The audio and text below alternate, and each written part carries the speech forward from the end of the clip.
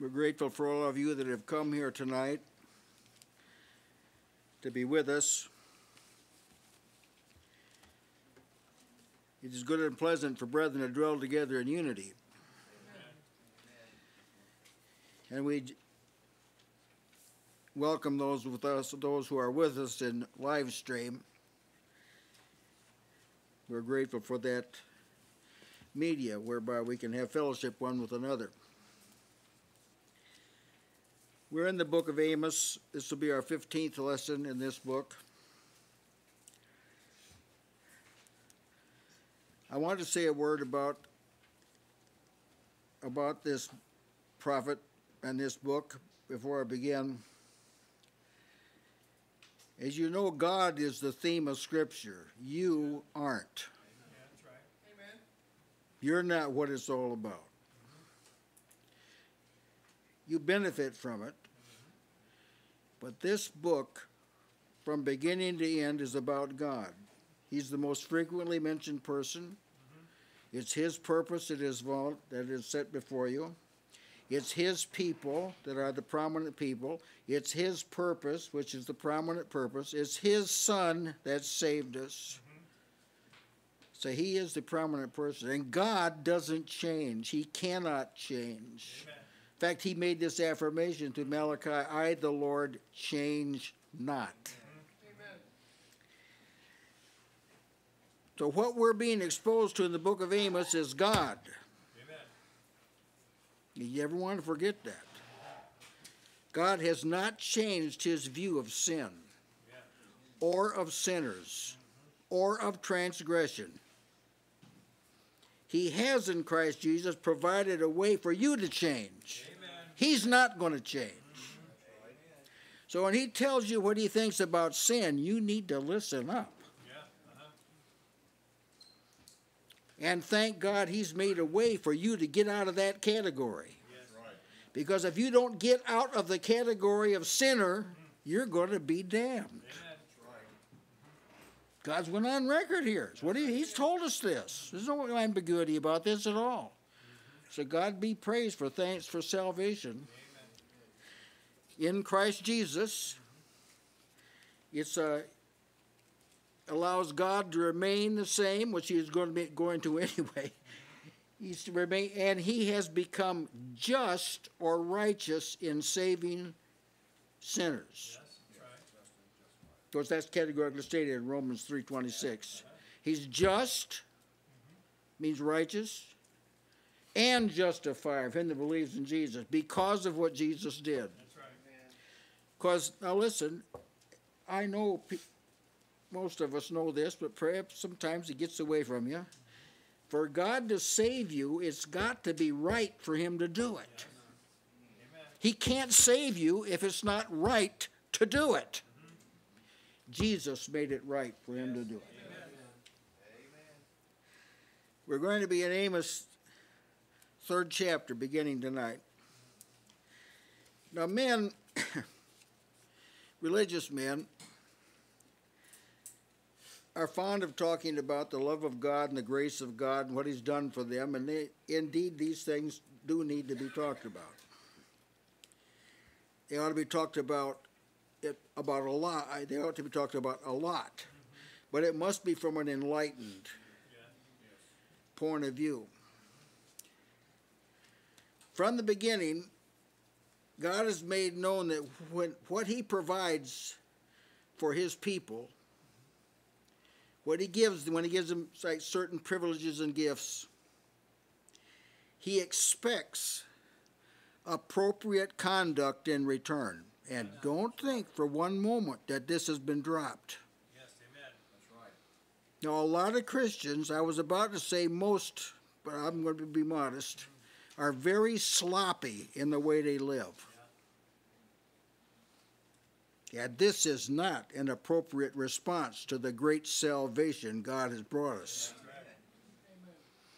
Now, he's going to prove this to you in the book of Amos. He didn't give the Israelites what he's given you, but he, he expected appropriate conduct to be from them. If you doubt this, the book of Genesis opens up in the third chapter There's one man and one woman. God's created them both. God made a garden for them. God put them in the garden, and before chapter 3 is over, He's kicked them out. Yeah, that's right. Amen. Not for a bunch of sin like, like us. Mm-hmm, mm-hmm. One. Why did He do it? Because that kind of conduct was unacceptable. God just will not tolerate this. It's unacceptable to God Amen. to have an inappropriate response Yes. to what He's done. I, mm-hmm. I don't want to spend a lot of time on this right here, but I have a pretty good idea how God feels about people that are, spend an hour a week mm. in some kind of concentrated gathering about Him. I have a pretty good idea what He thinks of that. And this is all over. This is all over churches have tailored their programs, nearly a hundred percent of them, for these kind of people. They've cut it short. It's infrequent. It's small. It's not demanding. It's a bad situation. I know how God feels about this, and you should know too. That we're finding out in here how God feels about it. Yes. I'm going back to what you said when you said God expects appropriate conduct from those he saves. The first thing that came to my mind was the king and when the servant went to him and he forgave this this large sum Large of money debt. he owed him. then he went out and he took this man and threw him into prison for a small That's sum of right. money. And it's just mm-hmm. like what people are doing now. They're Yeah. just forgetting the Lord forgave them and going on as if nothing happened. That's right. Yeah. Amen. See, there's a, there's a kind of a mentality that has pervaded Yeah. Christendom, in where instead of changing people, people are trying to help people, trying to help them to live a better. This this is not satisfactory. You already got a helper. What do you, how dare you go to someone else to help you be godly? Yeah, that's right. How dare you do this? When God sent His Son, giving you the Holy Spirit, giving you. How dare people do this? I tell you, these self help ministries and recovery programs should go belly up, every one of them. They're a fraud, mm. they're a disgrace to Jesus. They present a picture of Christ that presents Jesus as though he were impotent and can't do anything with people and has to have help. God can recreate people put a new heart in them, Preach it. Amen. move them to love Him and His people, and be concerned about the lost. God can God can make a person that way. He doesn't need any help at all. He's calculated to do that. Yeah. He's planned to do that. That's Yeah. right. It Amen. wasn't an accident. Yeah. And officially, he kicked them out of the garden so they wouldn't stay in that right. state. That's right. Amen. So Lest they they would eat of the change. tree of life and Yes. live forever. Amen. Mm. Getting their sin is the idea. A new thing shall I do, and shall ye not know it? Yeah. Amen. Amen. The flood was another demonstration of this. See, in Eden, they violated a command don't eat of that fruit. That was one commandment. One, people didn't do any better when they got ten. That's right. These were two people that were morally perfect. Innocent, probably is a better idea. Neither one of them had ever had a deviant thought or committed a wrong deed. And one time, they weren't assaulted day after day after day by Satan. One time, they fell. One commandment. So if you if you want to get into God's favor, by doing what he says, you should have learned that this you ha- you're going to have to have a savior, a deliverer. The flood, they violated command. In the flood, violence covered the face of the earth. Sin began to mushroom. God just destroyed all but eight people. in Sodom and Gomorrah, see, they violated the te- that in the at the flood. They violated the testimony of nature and the testimony of conscience, both of which were given when men were created. In Sodom and Gomorrah, they violated nature.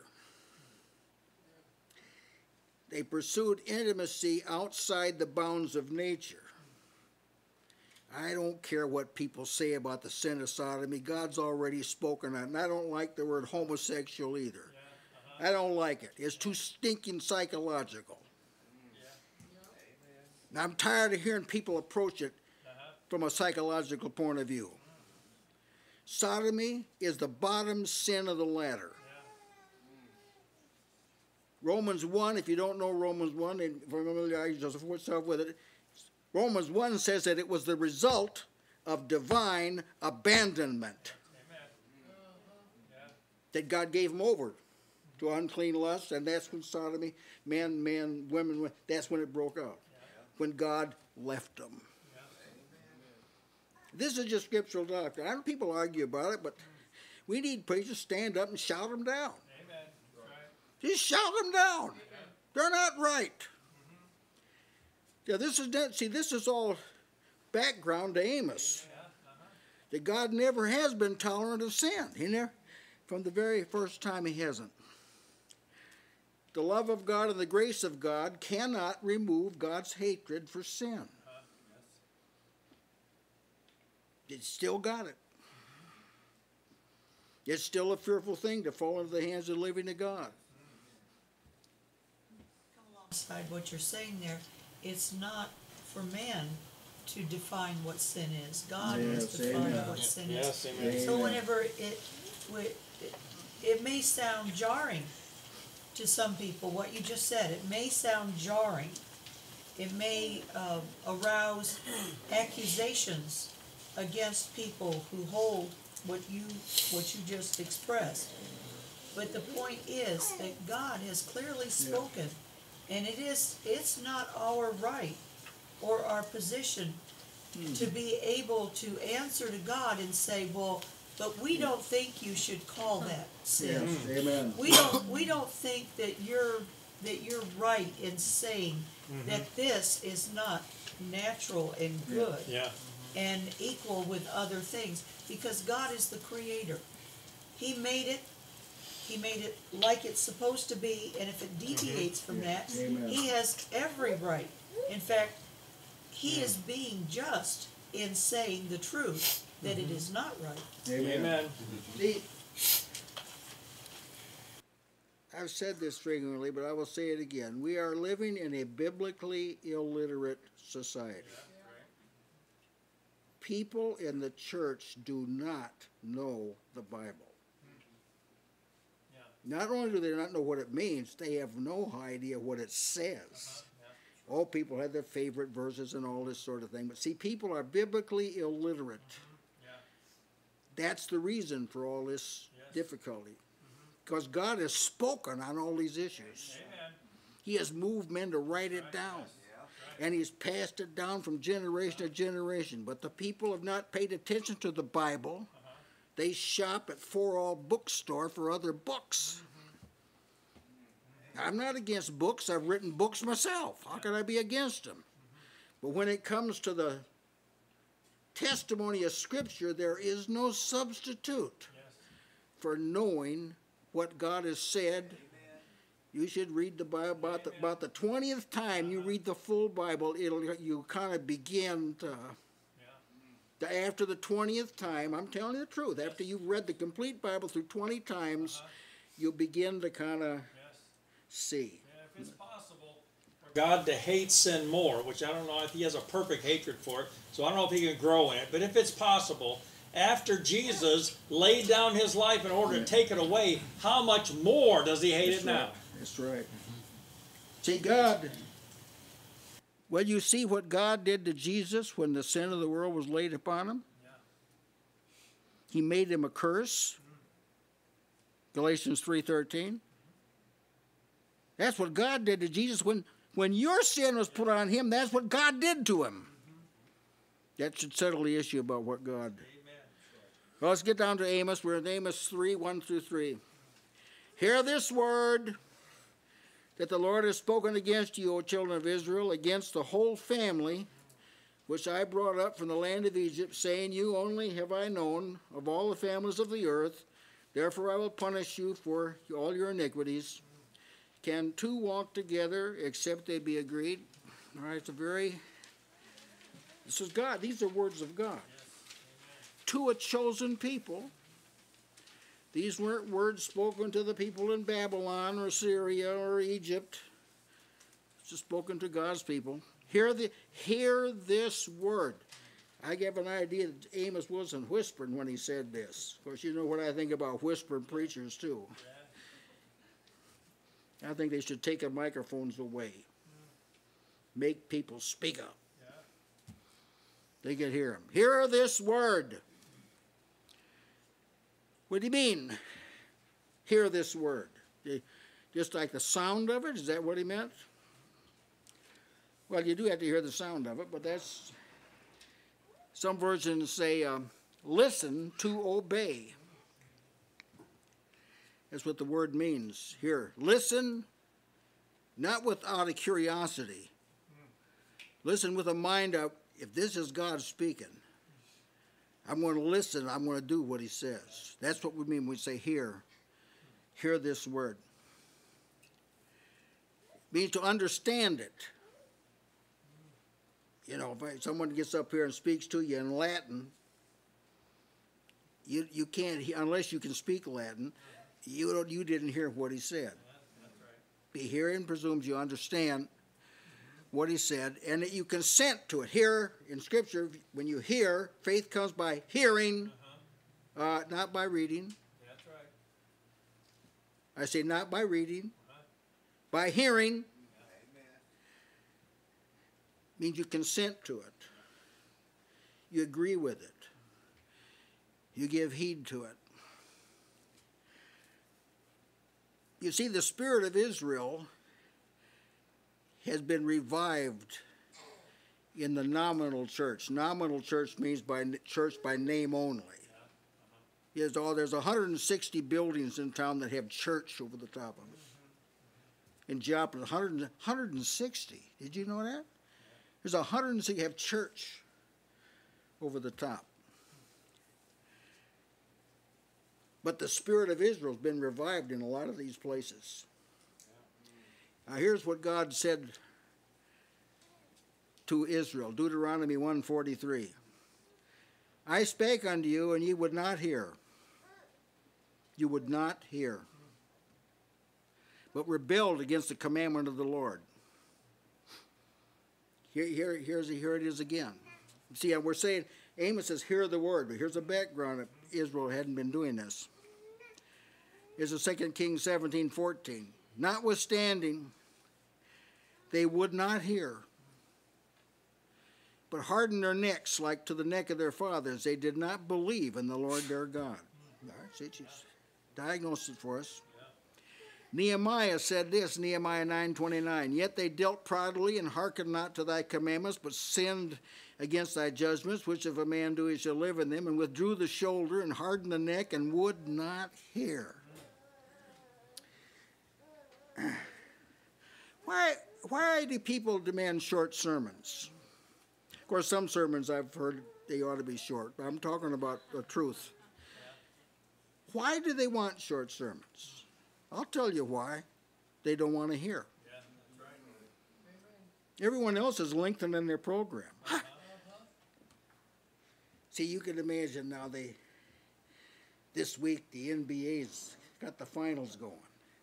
What do you think would happen if they said, we pass a new rule? It's just going to be, each quarter is going to be two minutes. Why, there'd be an outcry. Or some of these movie theaters have a lot of theaters. They said, uh-huh. we're no longer going to have any movies longer than 10 minutes. What would people say? Would be about cry. Hey, all the money we pay to get in there, we're not going to have any of these short things. A church is the only people shortening their program. Even Walmart keeps open 24 hours. So why don't why why is it that lengthy service assuming that the word of God is being spoken is because they won't hear. This is how God looks at it now, people. This is how God looks at it. The Israelites told our prophets, stop prophesying. We don't want to hear anymore. God said they wouldn't hear. It Wasn't just that we're we don't understand. Of course, people like that, they shouldn't say we don't understand. They should say we are dumb. We are ignorant. That's what they should say. Then maybe we could kind of deal with it. Now God calls upon them to hear now, hear hear what I'm saying to you. He's not going to say a blessing. He's not going to say I love you, although he told them that many times before. Not going to say it this time. He's going to tell them he's not willing to tolerate their insolence anymore. Hear my word that I have spoken against you. Against? God spoke against his people? Yes. That's what he said. Against you. I'm speaking. Listen what I'm saying. It's against you. That's what Jesus said to one of those churches in Revelation. Yes. Five of them were defective, and he said, I have something against you. Oh, you don't want Jesus to say to you, I got something against you. Amen. He's given you a salvation that's abundant with everything you need to avoid that being said. These are the people of God that God gave Canaan to them, their own private land. He created the nation himself from an impotent man and a barren woman. And now he says, I'm going to speak against you. It's the word against those he chose. It's against those he gave the law to. It's against those he delivered. It's against those he led. It's against those he gave prophets to. That's the people he's against. Does anyone think that there couldn't be such a thing as a church God was against? Well, you need to need to take heed here. Even against this whole family. Whole family? All of us? All of us aren't bad, and all of them weren't bad, but all of you, no, no, it's a judgment against the whole whole family. Might be argued that well, there were remnant. There was a remnant there, like Amos. He's a remnant. There are other members that were a remnant. Isaiah 16, 14, Isaiah said, The remnant will be very small and feeble. oh, it's a sad thing, but through history, remnant means there's some people didn't cave in. Yeah. When the remnant was very small and very feeble. And here, the whole house. I'm speaking against the whole family. It's the kind of judgment God passed on Israel when he made everybody wander for 40 years. Aaron was in there. Right. Miriam was in there. Joshua and Caleb were in there. They all had to suffer. Yes. Either some judgments like this now. We don't prefer it. We want to do everything possible to avoid this, but I'm just showing you this is this is possible for a lot of people to be paid because of a few people. The kind of judgment took place when Judah was carried off into the Babylonian captivity. They were all taken. Even the young men were taken. Even the boys were taken. They didn't done anything wrong, but they they were done. They were taken. When Achan, remember Achan? And Israel, when they took Jericho, God said, "Don't touch it. Don't take anything. Don't take anything out of this city. It's accursed." Said, "Take all the gold and all that and put that in the temple treasure, tabernacle treasury. Don't, don't." And there was Achan. He saw really, he saw a modern set of clothes, you know, Babylonian garment, yes. 20 shekels of silver and a gold, wedge of gold, and he took it, uh, and the whole nation suffered because of it. Right. They went out to a little dinky city to overcome was nothing, nothing compared to Jericho. Ai, Ai beat the socks off of them. Joshua's a weeping and lamenting about it. What in the world happened? God says, I'd stop that weeping. There's sin in the camp. You got somebody amidst you that did something wrong, and that's why you're suffering. Mm. They finally found out who it was. It was Achan. Mm. Achan, his wife, his sons and daughters, and all his possessions were stoned and stacked up in a heap and burned. One person, everybody suffered because Jeroboam, because of the sins of Jeroboam, the scripture says, all Israel suffered because of the sins of one man. Yes, Silas. about one man sinning and a lot more people suffering, I thought about when one person in the body of Christ is struggling, then the whole body struggles. Yes. Yes. Yeah, the preeminent example, of course, is Adam. Adam sinned, the whole race. the whole race was constituted sin. This is what he said in Romans 5. The whole race was made sinners and condemned. And all of them, you die because Adam sinned. As an Adam, all die. 1 Corinthians 15 22. See, one person sinned, everybody.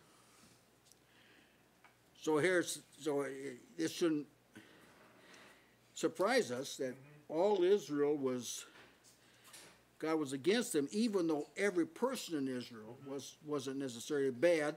Amos being an obvious person. And this who who who is this Israel? This is which I brought up out of the land of Egypt. That Israel. The fact that God brought Israel out of Egypt is frequently mentioned in Scripture. I gave you a few of the mentions here. Lot is brought up, which brought you out of Egypt. He- hundreds of years after he did it, he said, I brought you out of Egypt. Every time they sent, I brought you out of Egypt. Reminded them of it. Israel cried out to the Lord when they were in Egypt, remember? God heard them. God delivered them. And they, when they come out and cross the Red Sea, boy, they were singing, man. They were singing, the horse and the rider he hath cast into the sea. The Lord hath triumphed gloriously, you know. And they were singing. They got a little bit further down the road, and they started murmuring. It went bad for them because they did. The law cured, the law was holy, spiritual, and good. The law could not cure their murmuring hearts. They murmured against Moses and Aaron, and they murmured against the Lord Himself. Now, apostolic doctrine looks back at that, and it says this 1 Corinthians 10 11 and 12.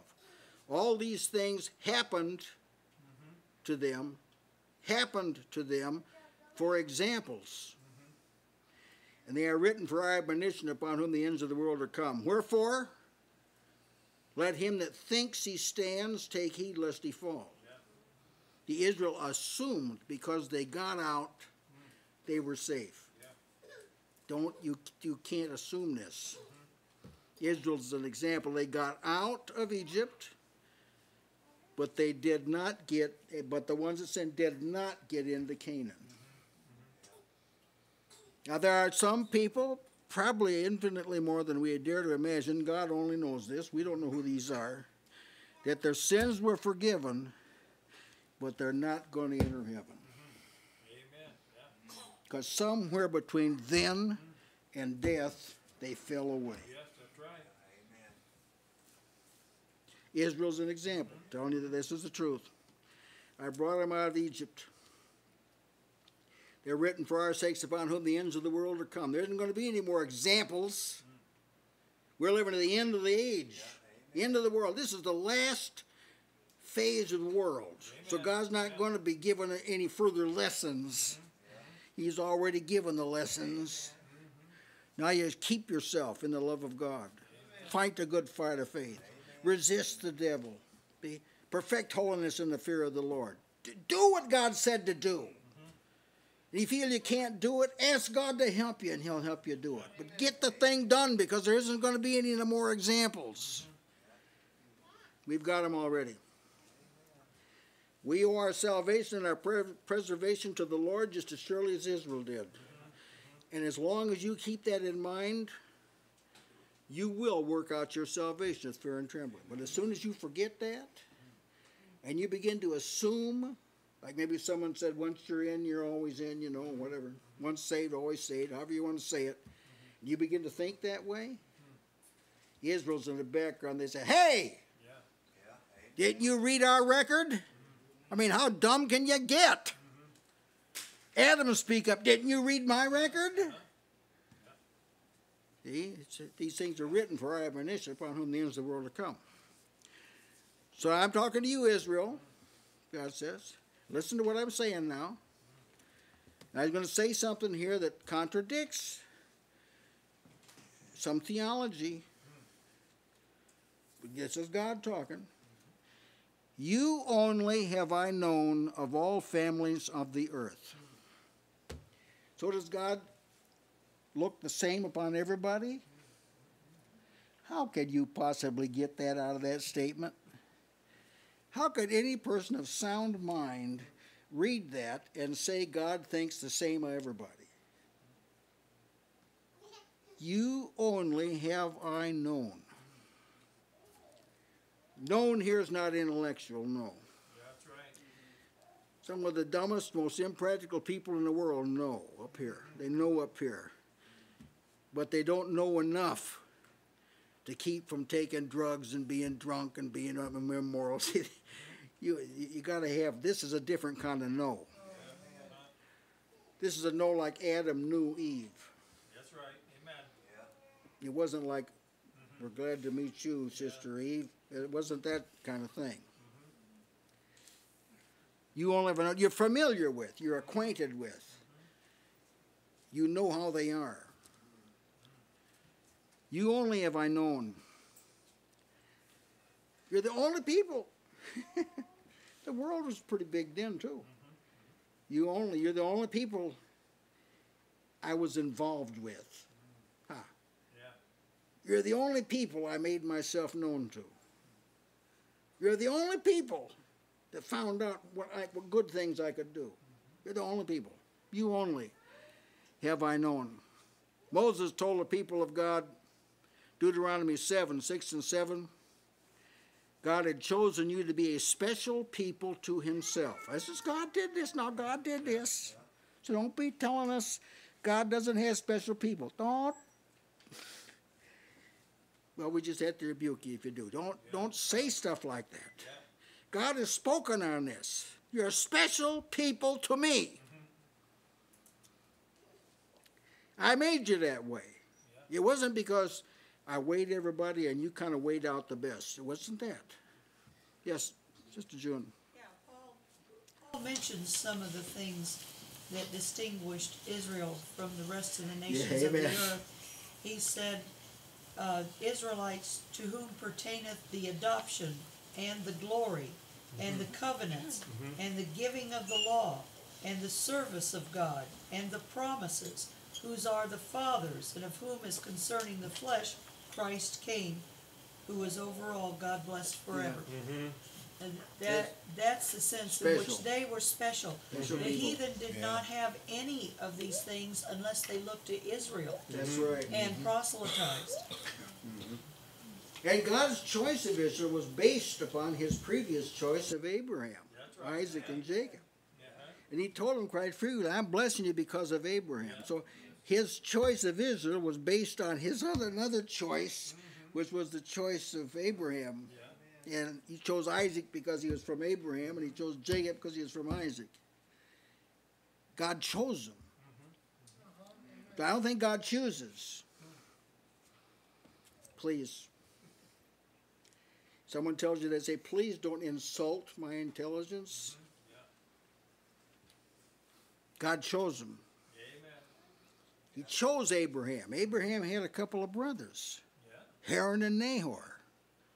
He didn't choose Aaron and Haran and Nahor. Right. He chose Abraham. Mm-hmm. Huh? Abraham had eight sons. Ishmael, Isaac, and six through Keturah, and God chose Isaac. That's right. Isaac had two sons, Jacob and Esau. Mm-hmm. God chose Jacob. He said that God chooses. Amen. It's what he's telling us. I chose you now. Mm-hmm. You owe your distinctiveness to me. Amen. I chose you. Not only does God Himself affirm that He's chosen them above all the nations, He's announcing, He's basing His revealed reaction to Israel's manners upon the fact He knew them above all other people. So, because of that, because I gave you special privileges, I expect special responses. And we're being exposed to we're being exposed to God here, see? If God gives you a lot, he expects a lot. Yes. Amen. He gave Paul a lot, he got a lot from Paul. Hmm? And I don't know of anyone God really gave a little to in Christ. That psalm is fulfilled in Jesus. He daily loads us with benefits. So God loads you up, you better be bringing blessings by the wagon load back. Therefore, because I knew you above other people, therefore, I will punish you. This is God said this. I will I will punish you. Some other versions, American Standard Version says, I'll visit upon you. You're going to get the result. What you have done has awakened something in me, and I'm going to. Mm-hmm. Judah? before you get too far off of this point of God investing in people, thought that God is not going to waste what He gives. He, when He gives it, when He gives things to us, we can't be the servant that folds it up in a napkin and buries it in the ground. We have to be the one that takes it to the bank, trades for it, and we have we have to be the ones, the servant who says, "Here is what you gave me, and I've doubled it and mm-hmm. brought glory to your name, and I can give you more back than you gave me originally." That's right. You say, what's going to happen to the, those buried talents? He's going to give it to somebody else. That, that's what he did. He says, give it to the one that has ten. Yes. Now, may I share something personal with you? I'm banking on this. Amen. I'm banking on picking up a lot of extra stuff mm-hmm. at the day of judgment. Yeah. Because everybody mm-hmm. who received something from God and was unfaithful to it is going to be taken and given to somebody else who was faithful. Mm-hmm. Oh, that's what he said. This is what he taught. That's right. So I, if people don't recognize you now, so what? Yeah. So what? If God recognizes you, He's going to make it public. There's going to come a day when you'll be noted publicly for being faithful. So you don't have to seek fame and seek the approval of men. You don't have to do this. Mm-hmm. You serve God wholeheartedly. And whatever whoever doesn't, what God gave him won't be wasted. It's going to be given to somebody else. Therefore, I'll punish you. Here, the word punish it's not just like a like a reaction of a flash of anger, you know, standpoint. It's not that type of thing. It's very deliberate. He examines the Israelites, and he reacts to what he sees with his his nature react. This is his nature reacting. This isn't anger like men have a flash of anger, lose their temper. This is this is not what this is. This is an expression of God's real nature.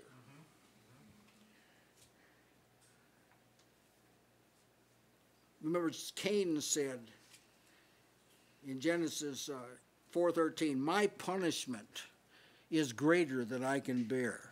Okay, punishment, punished. God one time said, Isaiah thirteen eleven, "This is a vow." God said this. This, this is going to happen. I will punish the world for their evil and the wicked for their iniquity. Right, he went on record now. Yeah. I want to do it. May not be in this lifetime, this world. I'm going to do it. I'm going to punish the wicked for their iniquity. All right, this is the day of salvation. This is the time for you to get out of that category if you're in it Yes. and to be separate and to receive his salvation and then no pun then your reward, not punishment. 18 times the scripture says in scripture, God says, I will punish. Yeah, some people don't believe God punishes. We come across this, uh, I do, in my Facebook ministry, and a lot of Facebook people, they are, they're not even in kindergarten yet, Yeah. you know, spiritually. But they'll say something like, God can't do anything bad. Mm. I said, Was the flood like good? Was Sodom and Gomorrah good? Mm. See, they, they don't understand God. It isn't that he does. It isn't that he does something bad. What he does is right. Yes, amen. Yeah. God doesn't do anything. It's bad from the human point of view, but it's, it's right. It's good, it's good on a different level, That's right. Yeah. different frame of reference. This is what prompted Moses to say, "Be sure, your sins will find you out. Your sin are like a dog that never leaves you, unless you forg confess your sin and forsake it. Your sins will trail along with you like a dog, and pretty soon they'll bite you.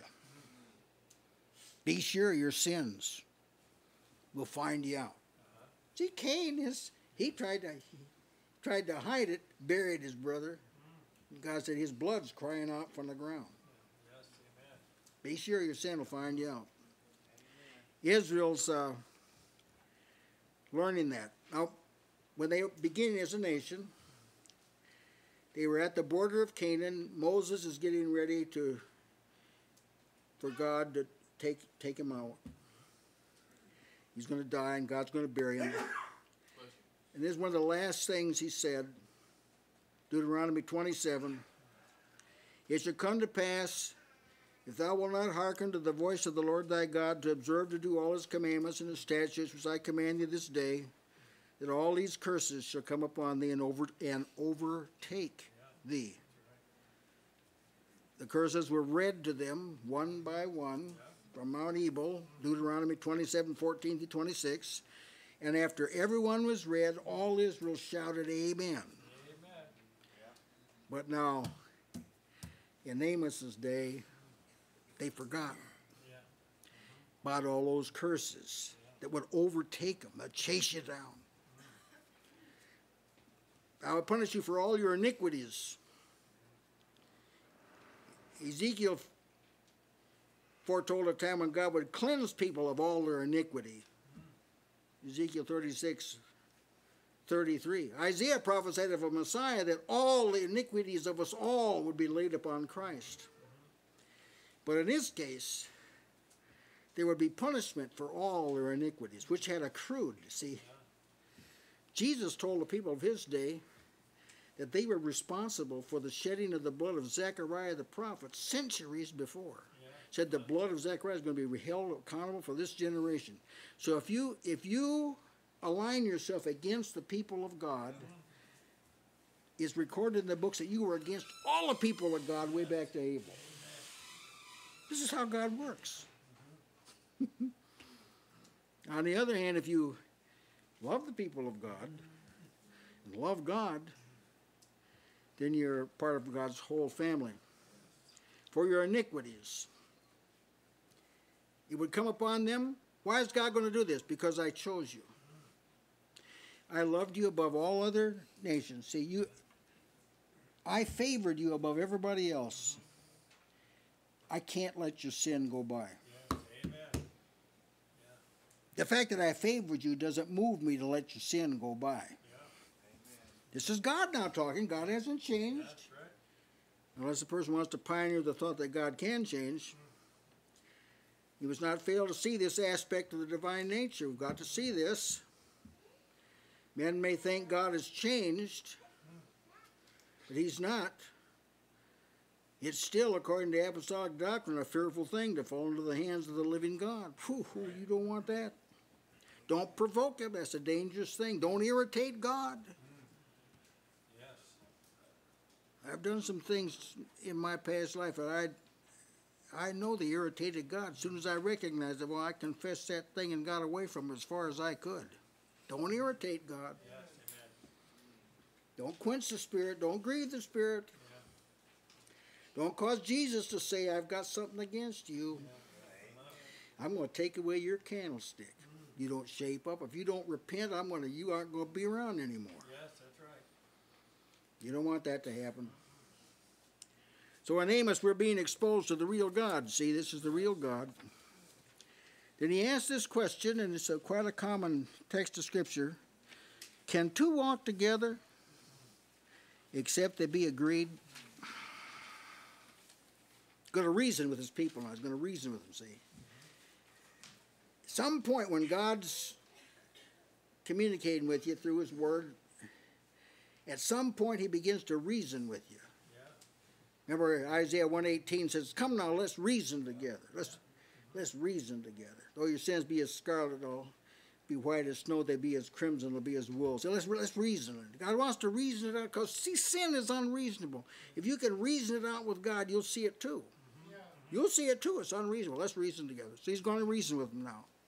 Can two walk together? Well, what do you mean, two walk together? Some versions rightly read travel together.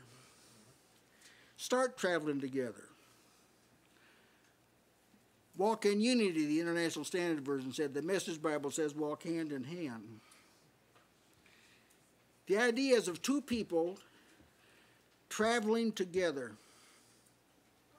It's more than just friendship. Friendship is no doubt involved, but it's more than that. It has to do with a journey, with making a journey together to a specific place for a specific purpose. Now, can two do that if they're not agreed? It's have to be agreed. How can two take a journey together if they're not going to the same place? What if one's going to Dan up at the top and the other's going to Beersheba down at the bottom of the promised land? Can they travel together? Can someone going to Dan, another person to Beersheba, can they travel together? No, they can't travel together. They're not agreed. Some versions read, unless they made an appointment. New American Standard Bible. God's Word Bible says, unless they've agreed to do so or without meeting first, or without agreeing on the direction, New Living Translation. Amplified Bible says, except they make an appointment and have agreed.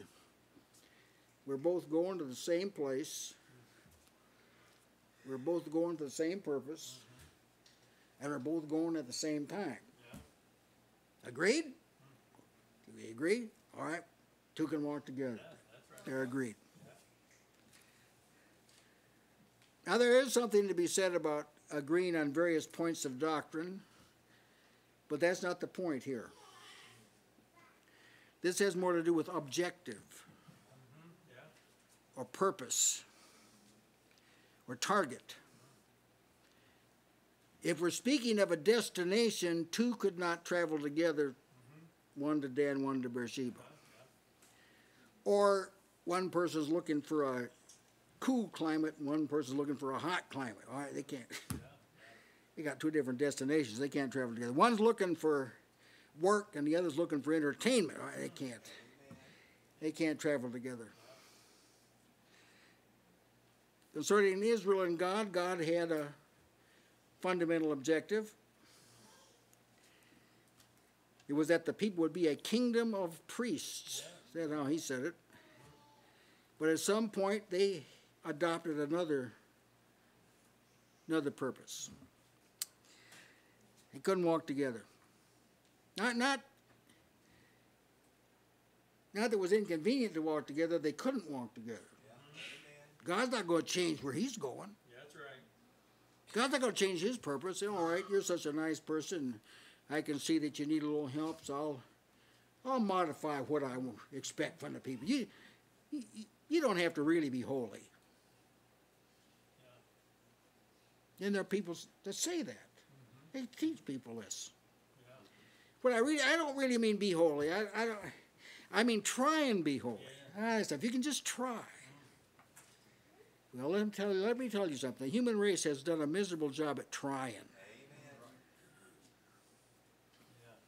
Brother Given, Yes. as we've been talking about this, can two walk together except they be agreed. I considered in Pilgrim's Progress when hopeful Mm-hmm. And Christian when they were walking together, and then ignorance came along. Yes. And it, it did appear as if they're entering into the same destination at the same time, but their wants were different. Mm-hmm. That's and right. it got to the point where Christian hopeful they fell behind Yeah. because they didn't want to be up there with ignorance because of it, his conduct, his speech. Amen. They couldn't walk together. Could That's right. You can see this, can't you? Where he's where he's going. They're talking two walk together except to be agreed. Now, as I told you, that God's purpose was spelled out in the covenant, the Ten Commandments, according to Exodus thirty-four twenty-eight, were the words of the covenant. Thou shalt, thou shalt not. The covenant was you do that. That was the covenant. But the people had to agree to it. Under the old covenant, the covenant didn't wasn't instituted until the people agreed to what God said. So the covenant was do all of this all the time without fail. Three different times Israel said they'd do it. Three different times. When Moses first laid before the people all the words that God had commanded him, Exodus 19:8, the people said, "All that the Lord has spoken, we will do." That's number one. Number two, Moses heard all the words of the Lord and his judgments up on the mount. Exodus 24 3. And all the people answered with one voice and said, All the words which the Lord has said will we do. That's second time. Third time after Moses prepared a book, God said, Write all this in a book and read it to the people write all this in a book, that'd be Genesis through Deuteronomy, and you read it at one standing. I could only imagine if, if this Sunday someone and said, Brethren, everybody stand, let's rise to the reading of the Word. I'm now going to read the first five books of the Bible. I think you slipped a cog somewhere. After he read the book of the covenant and all its ordinances, see, this had all the what we call a ceremonial law, the feasts and where to go and all this sort of thing, clean and unclean. All that the Lord has said, we will do, and then he added, and be obedient. Oh, so that's three times. So if, if you say it enough, it happens. You, think that'd happen.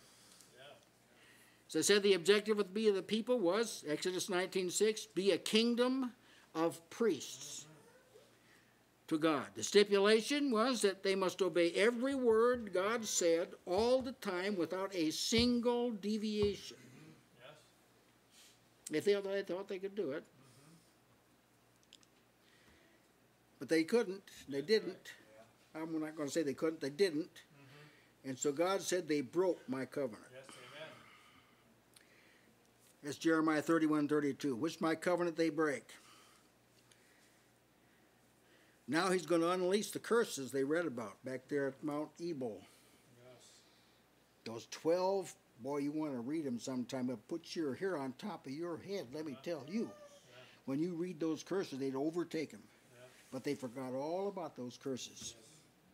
Now God's going to unleash them to them because they broke the covenant. Amos is announcing judgment because of specific sins. Now, he, he spelled it out to them, remember? Said, You gave wine to the Nazarites. Nazarites couldn't drink wine. God said, You, you gave wine to the Nazarites. You told those young preacher boys they could drink beer. Oh yeah, you got to bring it up today. People don't understand. Huh? You did that. You sold the poor for a pair of shoes. Anyway, there were four specific sins came upon them because they broke the covenant. I said, what, what's the lesson we can learn from all of this? If we desire for the Lord to walk with us, you've got to have the same objectives He has. Amen. You have got to be going where the captain of salvation is leading. Jesus has not been sent to accompany you. Amen. He's called you to accompany Christ. All the difference in the world, isn't it? And until you agree with that, you can't walk with Christ. You shouldn't expect Jesus to be with you if you're doing something he's not doing, mm, That's right. or if you have a different purpose than he has, or your life centers in you instead of him. Do you really think Jesus is going to walk with you? Well, he won't. Be assured he won't. Amen. You've got to be with him. You started out that way. When you were born again, God put you in Christ. You were joined to the Lord. 1 Corinthians 6 17. See, you started out that way. Yeah. But at some point, there are some people Satan lured off the path. And they started going another direction. And so it can't God can't walk with them. They're agreed. Yes. There are some people who claim to be following this captain of salvation, but they're on the path that runs parallel to the straight and narrow way. It's another allegory in Pilgrim's Progress. When Christian, and I think is it's still Hopeful that's with him, are having are troubling, toi- toiling on one road, and then right across from them they see another road that appears to be much more pleasant, so they get on that road, Yeah. and it takes them away. Mm-hmm. It's not parallel. Yeah, that's right. Yeah. It's It not like railroad track parallel. Mm-hmm. That other road is going to another destination. That's See, it's, right, not, it's not going to end up the same place. That's parallel means they're both headed the same way. Like God, God's election uh-huh. is parallel with His love. That's right. Yeah. But this other way is a uh, way that he go in another direction. If it, it looks for, it does look uh-huh. at first like it is par- parallel. Yeah, that is true. It does look that way, but eventually it takes you off, off course. I don't think that this is generally known.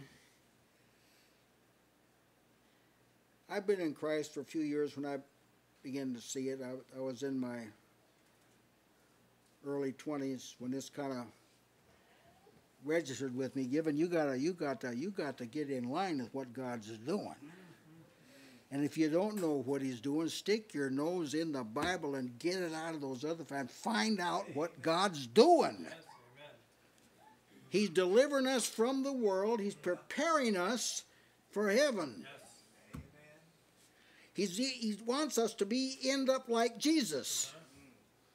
So if you're not becoming more and more like Christ, you're in a, headed in another direction. You got to get corrected. It's got to be corrected. Two can't walk together unless they be agreed. There's all kind of people disagree with God. Today with India rubber theology, I mean, there's people disagree with God about you know sins of sodomy and abortion and things like this, and they disagree with God. They don't agree with Him. God says, "Be holy." They say, "Well, no, we can't be holy." You disagree with Him. See, they disagree. What's the penalty for disagreeing? God doesn't walk with you. Yes. Amen. That's the penalty. Some people are willing to pay it because they don't realize they don't realize where a person God's not with is going to end up. Uh-huh. Is not going to be with God. You can't be headed south to hell and end up in heaven north if you're not walking with God. It just won't happen. This is taught. See, this is what Amos is teaching, and, and God is reasoning with Israel. Look, you're going a different direction and I'm going, and I'm not changing my direction. You've got to get on course. And if you read the apostolic writings, the epistles to the churches, you'll you'll find out that this is a constant appeal for people to get on the get on the right target, have the right objective, make it your aim to be ready for the day of judgment. Because if you're not ready, you won't pass. Amen. Yes. Be ready for the coming of the Lord. Mm-hmm. Be ready. Such an hour as you think not, the Son of Man comes. If you're not ready, well, you remember those five foolish virgins weren't ready? Yes. They didn't get to get in one of the lesser rooms of heaven. they didn't get in, period. Yeah. Weren't ready. See? How do you get ready? By walking with the Lord. If you don't know what that means, you can figure it out. If you read what Jesus said, Jesus said, Now look, if you want to be one of my disciples, and a disciple is is a learner, it's a it's a like a scholastic word. It's a pupil. If you want Jesus to teach you, and you can't really go to heaven without Jesus teaching you, Jesus said, Now, if you want to be my disciple, you can't love anybody more than me. Not your mother, not your father, not your brother, not your sister, not your own life. You can't.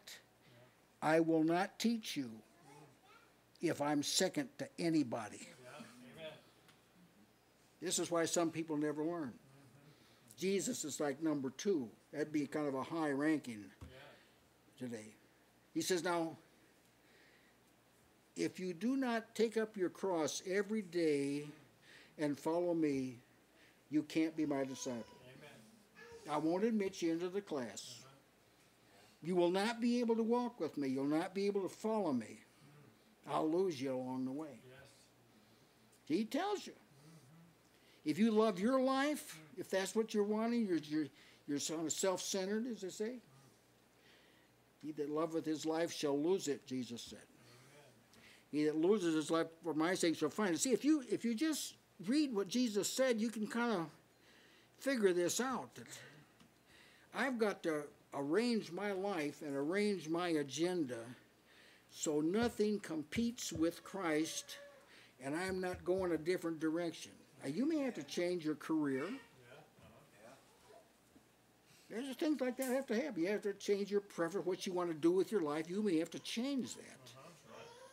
But now you've now's the time to change. Any if any change is going to be made, now's the time to do it. See? And the book of Amos is telling you, you got to be agreed. God tells us where He's going. We talk about this frequently in he, Ephesians 4. He tells you that Jesus is exalted and has given gifts to the church apostles and prophets, evangelists, pastors, and teachers for the perfecting of the saints, for the work of the ministry, till we all come into the unity of the faith of the knowledge of the Son of God, till we're all God is Christ is working through every member, and the church edifies itself in love. He tells you where he's going. He, he tells you where he's going. And then he the Holy Spirit saying, Come and go with us the Spirit and the bride say, "Come." See, that's that's that's, that's the call. Join. Join with people that are following me. They may look weird to other people, but join with them. Wherever they're they're here and there, learn to spot them, and you and learn from Amos. Now we're still just in the beginning of his judgment of Israel, but he did, he said this because he had set his love upon them and chose them above everybody else. And so he does, when God does that, he expects some return. Amen. Which means salvation is calculated to produce Yes, amen. this return. All right. Any of you have something you'd like to add? Yes, Brother Ricky. Yeah, you know, in this text in Amos, both of them are walking. That's Yes, Can two walk Walk. yes. together? So salvation is a collaborative effort between men and God. It's not does God work or do you work? Hmm. It's a it's a unified work. That's There's right. affinity in the work, so that you mm-hmm. actually work together with God in His Amen. work. Yes. See, and so it isn't. It isn't. People have a confused idea about this, but it's it's it's it's a single effort, mm-hmm. and that is that's where you are prepared for the greater work to come. Right. If you haven't learned to work with God here, how will you be able to work with Him there? Yes. I'm Yeah. sorry, but there isn't this great orientation that's going to take place when you get there. It isn't like that. Now is where you orient and learn right. to Amen. work in That's God's right. work. See, in the world to come, it isn't. I'm going to go off and kind of do my own thing. You know, I've got this purpose I want. It's it's going to be all about His work. So it's got to be all about His work here. See, Amen. and so I, I'm thankful for how you how you painted that picture of a journey Yes. that we're Uh-huh. that we're journeying and moving in in a single direction together. Would you say this would be an appropriate description? Workers together with Yes, God? amen. Amen. Amen. Amen. Yes. Good. Read about those two on the road to Emmaus.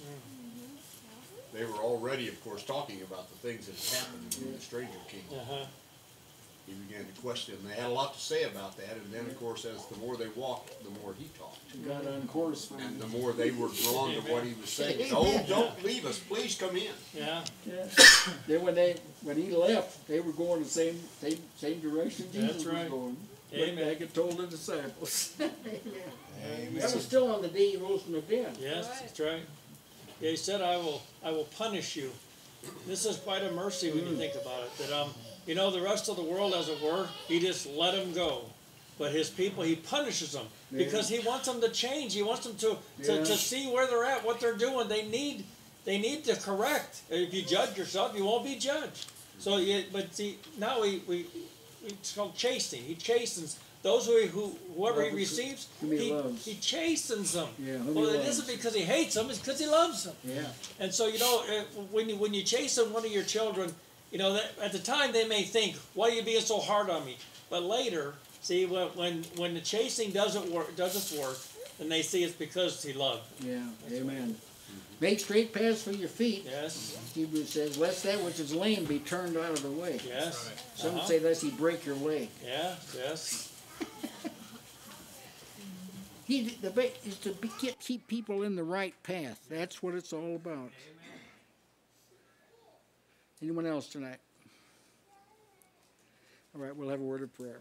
Our dear Heavenly Father, we're thankful that you're the one that makes the vital determinations, and how grateful we are for the grace you give for us to line up with your agenda. We have found it to be very enjoy, in, very joyful and satisfactory to accompany you in the fulfillment of your purpose. So we pray that you give us continued grace to stay on the road. In Jesus' name, amen.